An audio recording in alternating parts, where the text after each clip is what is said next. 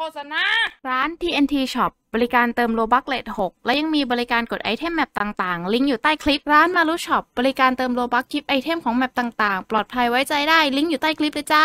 ร้านดอกบัก Shop บริการ gift item map ต่างๆ เช่น Blox Fruits Anime Mania All Star และยังรับเติม Robux ด้วยอีกนะ ลิงก์อยู่ใต้คลิปเลยจ้า ร้าน Robux Shop TH บริการเติม Robux rate 5และยังรับฟาร์ม map Blox Fruits อีกด้วย ลิงก์อยู่ใต้คลิปเลยจ้าสวัสดีครับผมวันนี้เราก็อยู่ในแบบ o s t a Tower Defense นั่นเองนะครับวันนี้นะครับเราก็จะมารีวิว 2 ตัวนะครับ นั่นก็คือ m a c h e r a n นะครับกับ g o h a n นั่นเองนะครับ ซึ่งทั้ง2ตัวนี้นะครับเรามาในรูปแบบเวล 80 ทั้งคู่นะครับอ่าเราจะพูดว่าเลเวลเราดันไปรูปแบบเฉยเลยนะครับ ก็สแตทเปิดประมาณนี้นะครับผมอะก่อนที่เราจะเข้าเรื่องการรีวิวเขานะครับ เดี๋ยวเราเอ่ออยากโค้ดสักหน่อยนะครับ เนื่องจากมีโค้ดใหม่มานั่นเองนะครับผม ซึ่งโค้ดนี้ก็ได้รับ 157 นะครับ นี่พี่ใส่สดเลยนะ ได้รับนะครับ นี่โค้ดนี้นะครับ อ่า เยนโรซิกนะครับน่าจะถูกนะ ก็ประมาณนี้นะครับผมซึ่ง ก็ต้องบอกก่อนว่า 2 ตัวเนี้ยมันก็ไม่ได้ OP หรือเก่งกาจอะไรขนาดนั้นนะ ขนาดเวล80 แล้วก็ยังอยู่ในระดับที่เฉยๆนะ ซึ่งอันนี้พี่ก็กะจะแค่มารีวิวเฉยๆนะครับ ก็ไม่ได้กะแบบลากให้จบหรืออะไรนะก็อาจจะตัดคลิปไปเลยอะไรประมาณนี้นะครับ ซึ่งทั้งสองตัวนี้ก็มาจากเรื่อง One Piece กับ Dragon Ball นะ เรื่องหลักกันอยู่แล้ว เดี๋ยวเราก็ เข้าไปรีวิวกันข้างในดีกว่านะครับอ่าโอเค ตอนนี้เราก็เข้ามาแล้วนี่นะครับ ต้องบอกก่อนนะ 2 ตัวนี้เวล80 ทั้งคู่นะครับ เดี๋ยวเราเอ่อมาให้ดูโมเดลหน้าตาของเขาก่อนนะครับ นี่อ่าโอเคอย่างงี้นะครับ ซึ่งส่วนตัวเนี่ยชอบของโกฮังนะครับ สวยดีนะครับเออซึ่งมันแบบเป็นเอฟเฟกต์แบบคืดๆอะคืดๆอะเออลืดๆแล้วก็มีสายฟ้าแป๊ดๆนะครับอ่าส่วนมาเจแลนเนี่ยเฉยๆนะครับไม่มีอะไรก็หน้าตาโง่นะครับผมอะโอเค เดี๋ยวเราเริ่มรีวิวของมาเจแลนก่อน มาเจแลนนะครับเป็นตัวละครที่มี passive ใหม่ หรือก็คือเอฟเฟกต์ในการติดสถานะอันใหม่นั่นก็คือสถานะพิษ มันก็จะเป็นการตอดเลือดอะเหมือนไฟนะครับ แต่พี่รู้สึกว่ามันตอดช้ามากเลยนะครับ เออ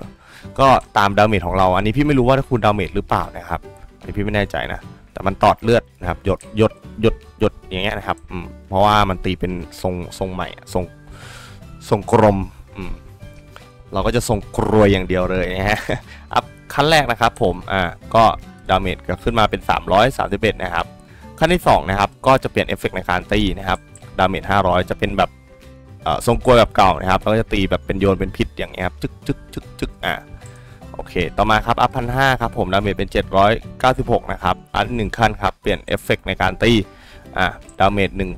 1,100 นะครับ แต่ตีเป็นเอ่อทรงกลมแบบใหม่นะครับ ตีเป็นการโยนบังกรอนอย่างนี้นะ เออก็เท่ดีครับ ซึ่งตอนแรกก็คิดว่าจะเท่กว่านี้ แต่ก็ไม่ค่อยเท่เท่าไหร่งงไหมงงไหมงงเหมือนกันนะครับ แล้วขั้นสุดท้ายนะครับ มีพาร์ทสีไม่ใช่สิ ต้องบอกว่ามี skill พิเศษขึ้นมา1 skill นะครับ เราลองกดกันหน่อยดีกว่าจึ๊บนี่โยนตุ๊บตุ๊บตุ๊บตุ๊บตุ๊บตุ๊บรอบตัวนะครับ นี่ก็จะเห็นนะว่าทุกตัวเนี่ยตรงนี้นะครับ ติดพิษหมดเลยนะครับ ผม เออพิษมันก็แรงนะ ก็คือ damage พันหกนะครับก็ตอดทีละเรื่อยๆอะเลยเรื่อยๆก็ไหลอยู่อะไหลพอสมควรอยู่นะแต่มันนานอะเออประมาณ 3-4วิอะ ถึงจะตอดทีหนึ่งหรือ 5วิอันนี้พี่ไม่แน่ใจนะ เออ ส่วนเรื่อง skill เนี่ย เออพี่ขอไม่จับเวลาแล้วกัน พี่รู้สึกว่ามันไม่ได้ดีอะเออ ส่วนตัวคิดว่ามองว่ามันไม่ไม่ work เท่าไหร่นะก็เลยแบบพี่คิดว่าไม่มีใครใช้นะครับ มีแต่บ้าจี้อย่างพี่คนเดียวเนี่ยแหละที่ลอง up ลองใช้ดูนะครับ อะประมาณนี้นะครับ ต่อมานะครับเป็นโกฮัง ตัวนี้เราแบบค่อนข้างภูมิใจเสนอพอสมควรนะฮะ โอเค อะโกฮังนะครับ หน้าตาค่อนข้างดีครับ นี่ อะ ขั้นแรกนะครับ ไม่ใช่ขั้นแรกเมื่อลงครับจะปล่อยพลังคลื่นเต่าอย่างเงี้ยพุชชีอ่าเป็นเอฟเฟกต์อย่างเงี้ยครับใช่คลื่นเต่าหรือเปล่านี่พี่ไม่แน่ใจเหมือนกันนะครับอะ up ขั้นแรกครับ damage ก็จะกลายเป็น 358 นะครับอ่าระยะวินาทีก็ประมาณนี้นะ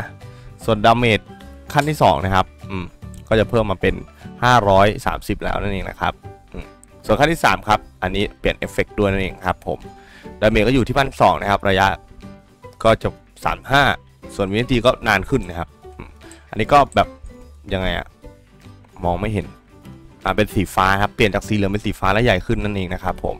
up ไปหนึ่งขั้นครับผมก็เพิ่ม damage เป็นเอ่อ2,003นะครับ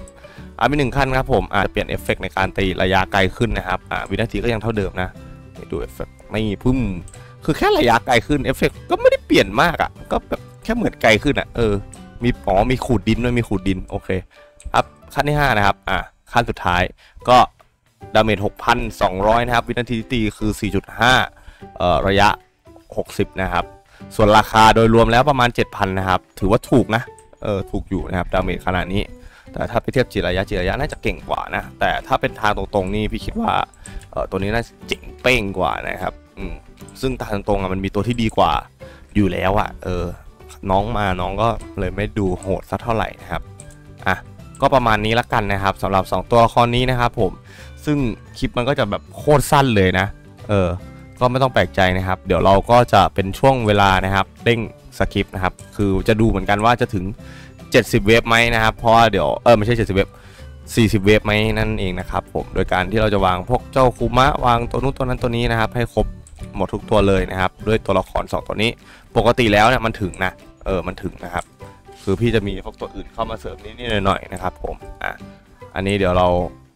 เอ่อทำการวางตัวให้หมดเลย แล้วเราก็จะเล่นคลิปจนจบนะครับ เราก็ประมาณนี้นะครับ คลิปนี้ก็ขอบคุณทุกคนที่รับชมคลิปวิดีโอด้วยนะครับ เป็นคลิปสั้นๆนะ เพราะมันไม่มีอะไรจริงนะครับสองสองตัวนี้นะ โอเค ไปแล้วครับ บายครับผม